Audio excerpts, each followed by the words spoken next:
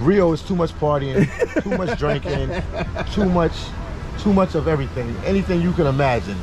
Too much girls, too much guys, too much of everything. If you really, if you're gonna live in a country, you going and survive there, you have to be where a place where you can live comfortable, and it's too expensive. Yeah. If you had the choice, would you prefer to date a Brazilian man or a foreigner?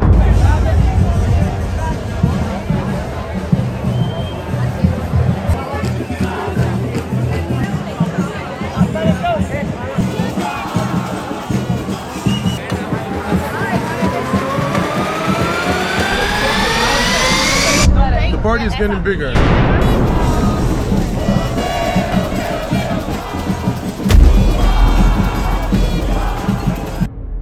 When you decide to travel, one of the most important decisions you will make will be your lodging accommodation. Hotels offer privacy, more luxurious experience, they are generally quieter and have more amenities. In the other hand, when staying in a hostel, it's easier to meet other travelers. They offer a variety of different kind of activities and events, and the most important point is they are generally budget friendly. That's the reason why seasoned travelers like Backpack Mo and Philly Dom precisely choose to stay in the latter. That's why I say the hostel, also being a content creator, it's easy to get your energy up. Sometimes when you by yourself, your energy level might be down. Yeah. But a hostel, people always drinking, they always happy, they always There's always and activities going on. Yeah, it's always new people coming in, so they always bringing new vibes and new energy in there. So it's always something to do, and you can always tag along with people. Even if you're not feminine or you're uh, con- even if you're not a content creator, you always have somebody to hang with. Yeah. You'll have a travel buddy. You know, in the military, they got battle buddy. Yes. You got a travel buddy. Yeah. You can always be able to travel with them. Yes. Somebody's always willing to go to the mall with you. Yeah. Somebody's willing to go to the beach with you. Yeah. Somebody's willing to take a go somewhere and drink Yeah. with you. Somebody wants to go to all the tourist attractions, so you all you're not alone. Right. So it's, it's a better way of traveling. I agree. And you can be at any age doing it. People think like, oh, I'm 30, I'm 40 years old. Why would I stay at it? It's, and it's not that you're trying to be cheap or nothing. If you're gonna travel for a while, it's definitely a place to meet people. Right. Because I'm from the States, and I'm gonna bring up the state situation again. it's hard to get a group of brothers or a group of people together to travel. It's always conflict. Yes. Somebody's married, somebody got kids, somebody's job won't let them, whatever. It could be legit excuses. Yes. But if you go to a hostel, you can quickly link up with people, and you got a crew of people to travel with. I agree. Right away. Right. All right. And you'll be surprised. You make a friend there, and they be like, "Hey, Philly, where you going next? Oh, I'm going to El Salvador. I'm going to Jamaica. Can I tag along with you?" Yeah. All right. It's it's common. It's not common to meet people that meet people in the hostel. yes. And backpack can tell you, you meet people in the hostel, and you end up traveling with them later, right? That's true. Um, so I met a friend that I met in Budapest, and he's here in Brazil right now. Wow. What are the odds of that? Random. Yes. But if you're a traveler and you, you go places, things like that, that's a normal thing to That's find right. people to go along That's with. right. So that's somebody that that I have that's going to have my back while I'm here, Yes. and I'm going to have his back right here. Yeah. So as he talked about the safety thing issue, when you're in a group or you're with more people, you're less susceptible for somebody to you know try to take advantage of you. Exactly. If you alone. Yeah, you always have somebody. As you can see, we're a group of three. You know, so Yes. someone's going to come, they better Yes. be three, bring three, you know, or That's right. or bring more. you. All So, right. yes. All right. I said thank you to Philly in particular because a lot of YouTubers, if you are way smaller than them, they don't want to do videos with you. yeah, that's true. you hit them up, they say they look at your follower count, they either don't respond or they respond but they don't follow through. Most people feel like, well, I'm gonna waste my time with this guy. I'm not getting any subs from him. There's like a little competition among YouTubers, but I don't get that from Philly Dom at No, all. I'm not like that at all. He came from Sao Paulo just to see me here. He was already doing his own thing. And he met me in El Salvador. He didn't even know me. You know what I mean? So now we're walking down to the rock. After ordering our drinks, that took about an hour, Philly. An Yeah, hour, man. hour. We finally got it. We finally drinking now. That's crazy, man. Oh, la, la, la, la, la. I think it's better we walk on the. On the thing, it's easier to walk on our feet. Yeah. Yeah, that's sand, man. Woo! It's like quicksand. You gotta pull your feet up from this. So we're gonna go back on the street and show you guys what the view is like from the big rock that you can see in Ipanema Beach if we choose to come out here. So, so here we are at the rock in Ipanema, man. Yes. I seen some of your videos. You've been out here a few times. Yeah, I've been here. It's Yeah. a nice place. Nice place. I should know the name by now. I'm gonna ask somebody the name of the Okay, rock. sounds good. We're gonna ask somebody. So they have some chairs here. This is basically, it's not the end of the beach, but this is one of the most recognizable spots you can see from here. All right. So it's a it's a beautiful place, and uh, you have an amazing view. you have an amazing view from here all the way down. All right. So this Very is the rock.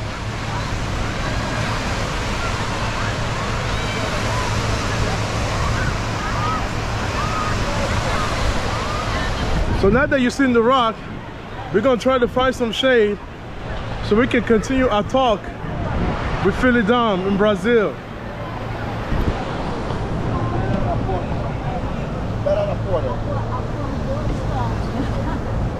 You can you tell them on camera the name then? She said the name. Hello, how What's are the you? name of? What is the name of this rock right here? Carla. Kagla? Carla. Kagla. Yes. Okay. What does that mean? The rock? Call is her name. No. She's saying the name of the rock. What's the name of the rock? É Arpoador Stone. Porto Stone? Pedra do Stone. Arpoador. But, okay.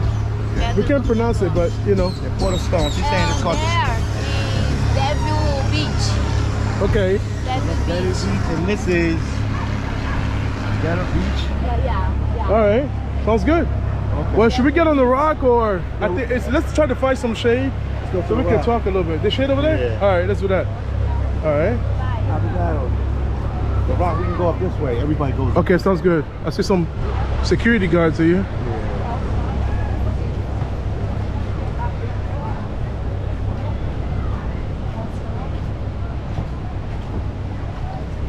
Wow, I hope she's okay. I hope she's okay. Wow. Wow, maybe she fell or something. All right, let's carry on.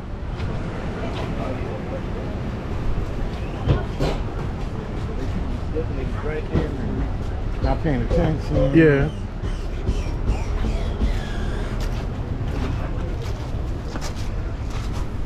So this is a steep little hike out here, my man. Watch a little bit. Yeah. And we're doing this drinking, caipirinhas. It can be a little bit slippery here. You gotta be careful. Oh, la la la la. Watch your step. Yeah, You good? yeah, I'm good. Man, and I got sandals on. I got my Jesus pieces here. Slippery. So guys, that's the view on this end.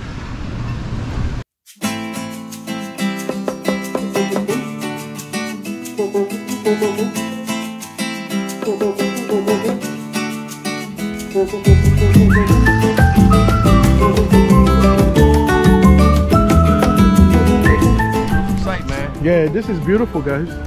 Look at this view here. Beautiful. Wow. Everybody comes up here to watch the sunset too. Oh yeah, makes sense. This is a, a great place to observe the sun during the sunset. This is Ipanema.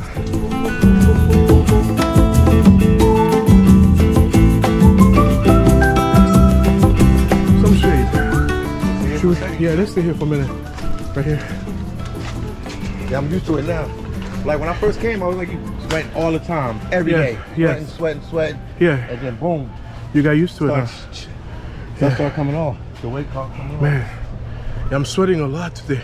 Yeah, yeah, yeah. Just the humidity level is really, really high, Yeah, man. it's hot. Ah. Wow. Yeah. So Philly, as a content creator, man, you meet a lot of people from different countries all the time. Yes. So I had like a weird encounter with someone yesterday at the beach. So that's why this conversation is coming up Okay. about how people from different countries behave differently when it comes to the camera. Yeah. There's definitely some countries where people don't even like to be recorded. So many times when you guys are watching these videos, there's like a B-roll that you don't get to see, which is the challenges we actually go through in order to get people on camera. And if you don't get people on camera, you know, it's tough because it's all about the local experience, you know. You got to connect with the people that live in the country that you're visiting. So what's your experience really about how people behave with a certain with a camera, people from a certain country, not to name anybody in particular, or region. Let's talk about that. Okay. Some countries or some regions, some people cool with the camera. Um, they don't mind you recording them. All right, give you. We can we can say this. Yeah. Brazil, Brazilians don't really care to be on camera. I mean, they they don't care to be on camera. They they, they embrace it. They have no problem with it. Um, I know I had some issues with people from um, Caribbean. Some people in the Caribbean don't want to be on camera, and in the Middle East, people don't want to be on the camera. Yeah.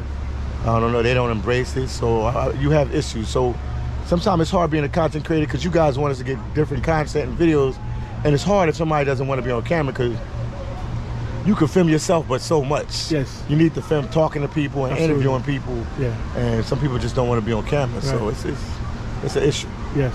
It's an issue. Definitely a big issue. Especially like being a full timer, man. People Yeah. expecting those Philly videos all the time. All the time, and sometimes it's a lot harder than what you think it is. Yeah. Because what people see, they see the finished product after it's edited. Exactly. After you did the video and you put it out. Yes. But they don't know sometimes what you had to do the video. They don't know how far you had to go to get the video. Yes. They don't know if you had to, you know, debate with somebody Yes. or edit something out because somebody didn't want something. Yes. It's a rough job, but I wouldn't pick no other job. But Yeah. you mentioned you had a situation, right? Were you with Tim when that happened? Where- or where? what happened with, uh, you said from an individual from the Middle East. Let's just put it that way. Um, we're at the hostel. You know, you at the hostels, people from Israel, Germany, France, um, Pakistan, people from like all over the world. yeah. And I won't say the country because the people I ain't gonna say that. Yeah. But um, it was a couple of brothers. Usually in the hostels, brothers don't travel there. When I say brothers, I'm talking about black people. We're in there, and he, I had a friend from South Africa. I'm from the states, and another black dude. I think he's like from um, Germany. And Yes. we had a guy from England. And we were sitting there, and we're playing hip hop music and, and stuff like that. Yeah.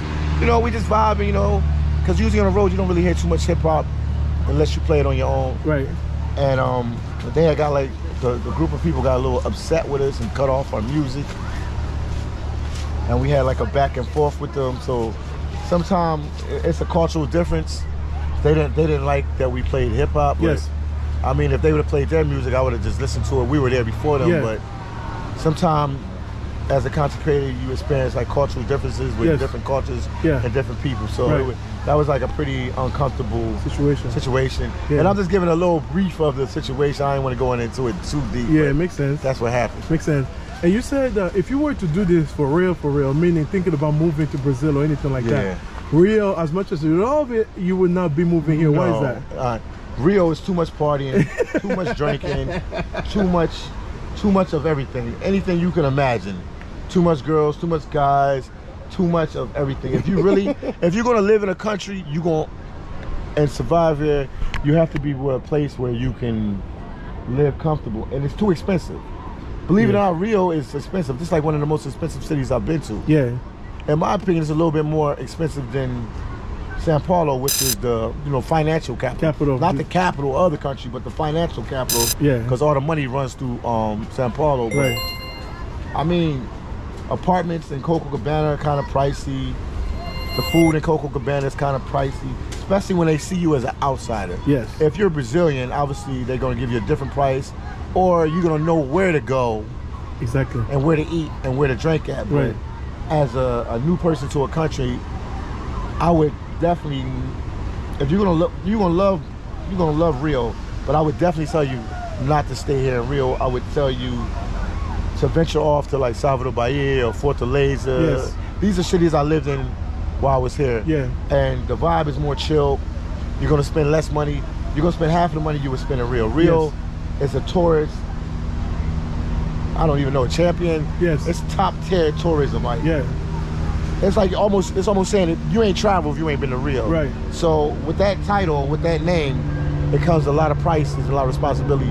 So if I was somebody say they want to come here and be an expat, I would definitely tell them to uh, do their due diligence, do their research, and check other places out in Brazil Yeah. that affordable. You can always fly back here, bus back here, drive back here, Yes. and get the experience, but check out other places that are a lot cheaper. You've been all over the country at this point. What is your favorite place? My favorite place for me to live in Brazil, my favorite place to live in Brazil would be Fortaleza. And Fortaleza is a place that is giving getting the least amount of coverage compared to Rio, Sao Paulo, I don't Salvador. get no coverage. Like. Yeah.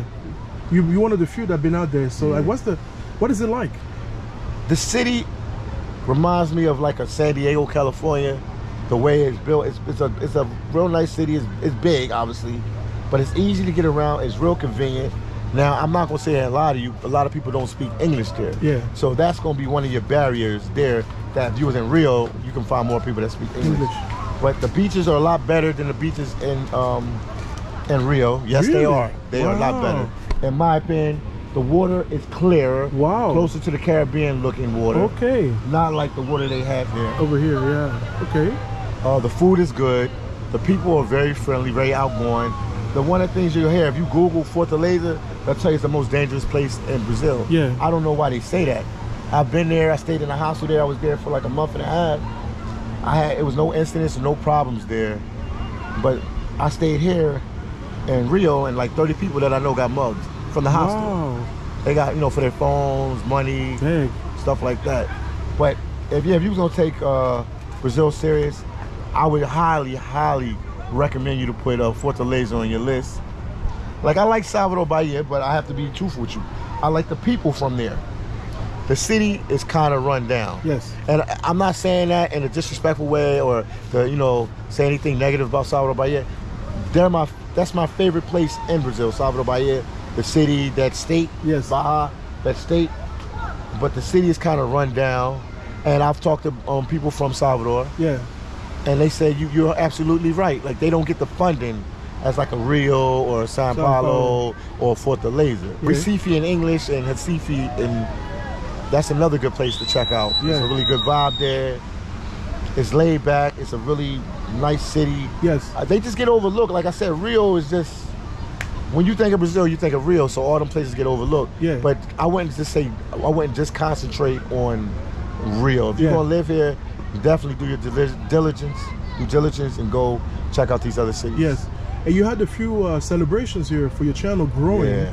What do you think was the main ingredient that led to that, you know, sudden growth that you were surprised about and did some uh, live as a result to celebrate that? my content didn't really change or anything. I just think the people that watch my content, I did a lot of videos. My channel didn't start growing Yeah. here until I came to Rio. Yeah. I think because Rio has a di- diverse group of people here. They have a lot of people that speak English here. Um, you have people from all over the world that come to Rio. Yeah. Like they might not go to Fortaleza or anything, but they all come to Rio. Yeah. So I think that helped push my my views and Yes. stuff like that. Yeah. I feel like my content is good, but it has to be in the right market. Right. For something to grow, has to be in the right market. Of course. And Rio was definitely the right market for me Yeah. when I first came to Brazil, I didn't want to come to Rio first because that's where everybody goes.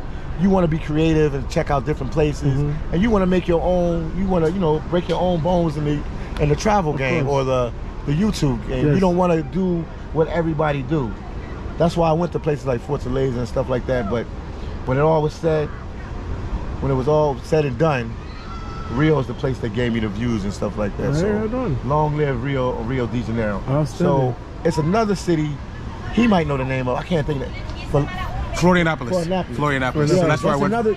That's another good city to go to. A lot of beaches over there. Yes. Yeah, and the beaches there look nice too. Yeah. Yeah. Yeah. There's multiple beaches. Yeah, here. it's Yes. definitely another place to go. Yeah, Florianopolis is amazing, and I always said if I'm gonna pick a place to live in Brazil, for, uh, Florianopolis is definitely gonna be it. I mean, they have more beaches than you can imagine, and there's different private ones, you know, medium range, high range. You know, you have whatever you you know, whatever you're into. You know, something affordable, something a little bit more luxurious. You definitely find that in uh, Florianopolis. It's a it's a beautiful, beautiful place. All right. Hi. Hello. hello. How are you? All right.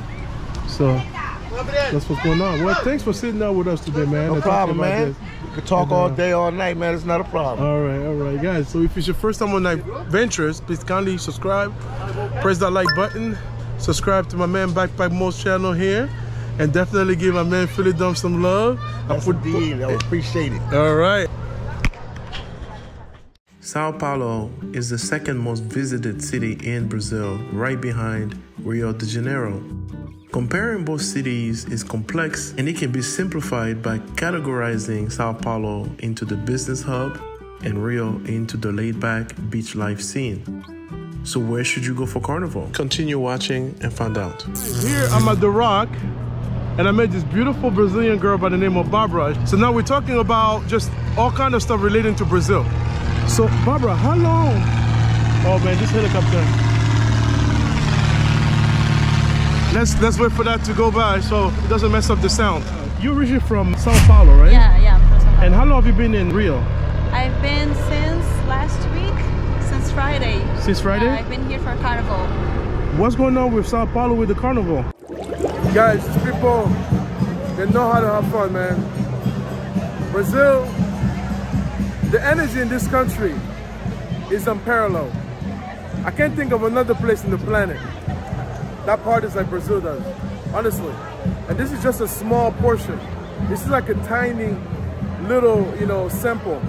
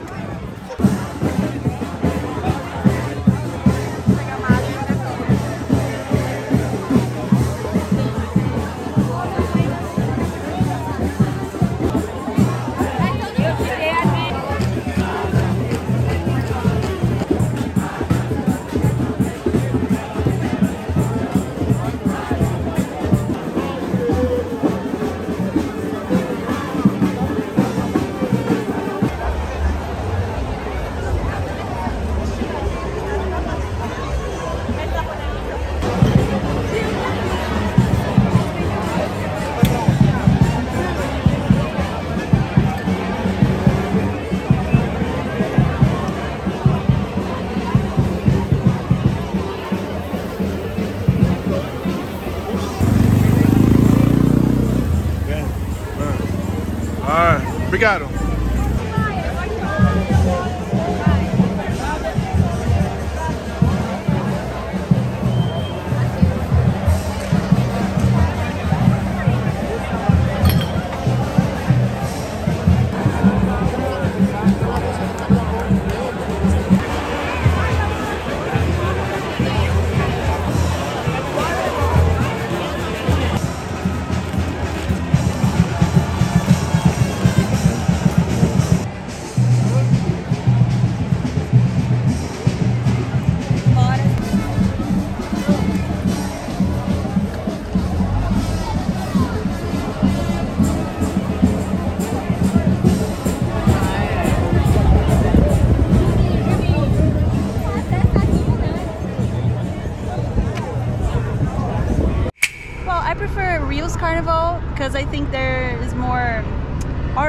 I mean, uh, there's the samba history. Oh yeah. Yeah, you know, so Yeah. people um, embrace it more. I think. Yes, The yes. Carnival in São Paulo is more recent, Yes. so I think um, here it like it makes part. It's a part of the culture here. Yes. So yes. I think So you would say the the parties here are better for around Carnival, right? yeah, yeah. I think Okay. so. All right. Sounds good. How'd you learn English? Um, since school. Yeah, In school? Yeah. Oh yeah, wow. From school. So you have to take English classes, or did you teach yourself, or was it mandatory? No, it, it um, a part was mandatory, but Yes. I also took uh, part uh, classes apart. So, Apart, okay. yeah. Have you traveled to the United States? No, I've never been to the U.S. Where have you traveled to right here? I've already been to Europe, Europe. uh, France, Italy, Germany. oh, nice. Which one is your favorite? Um, I think France. Fr- why? I've lived there, so Do you speak French? a little bit. C'est ma première langue en fait. Je parle français. Ah, tu parles français. Ouais, je parle français. Wow, that's funny. Wow, I love the Yeah. pastry there. It's uh, Yeah, it's really good. it's really good, but It's the country good. can be very expensive too, man. Oh my god. Yeah, yeah, it's really expensive. It's very expensive. Yeah. So what is um, what do you think? How does it work here? Like um, when it comes to dating, are you single? Are you in a relationship? What's going on? I'm single How long have you been single? Um, for a year right. For a year. Yeah. If you had the choice, would you prefer to date a Brazilian man or a foreigner? And I why? think a Brazilian. Why? Um, I don't know. I just think the, there are less differences. So I think it's, it's easier. yeah, yeah, yeah. But you speak Spanish, right? No, I, I can understand Spanish, but I don't speak it. So. You, you can understand it, but you Yeah, can yeah. speak it. What is your favorite food to eat out here? In Brazil in general? I think feijoada. It's Feijoada. The, my favorite Brazilian dish. Yes, yes. Yeah. How about the meat, the steaks? Yeah, the meat is good too, Yeah. but I think feijoada is like the the, the whole meal. So Yes. Okay. And if somebody's watching this and this is their first time in Brazil, Mm-hmm. what would, what would you recommend to do? What is the must must do? I know the caipirinha is the main drink, right? Is that what? is Yeah, that- caipirinha. yes. But how about food? You say Feijoada, Feijoada. feijoada, pão de queijo, yes, pastel. Okay. Yeah. And as far as the city, what is your favorite part of Brazil? Um, the city, I don't know. I think Rio is the, my favorite city right now. Really? Yeah, yeah. Have you been to Florianopolis? Florianopolis, no, no, I love that place. You might change your mind after you go to Florianopolis. no. Yeah, I don't know. I don't know. I've never been there. L- Brazil is a really large country. So. It's so big. yeah, yeah. You can you can just literally just travel around, and it's very different too. That's what I like about this place. okay. And people are very friendly as well. So so yeah. Well, thanks for talking to me, man. I I wanted to get your perspective being Brazilian, you know, because I'm only here on vacation. So I try to always connect with somebody who's local. You know what I mean? Yeah. So thank you, guys. Uh, this is Barbara here, and uh, now you heard it. If you're gonna be celebrating in a carnival, Rio is the place. uh, thanks for watching.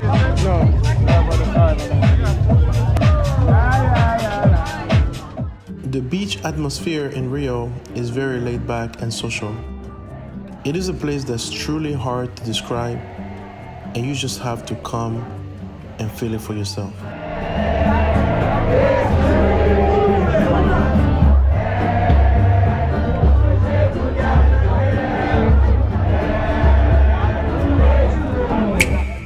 To truly enjoy your stay in Rio, location is the key.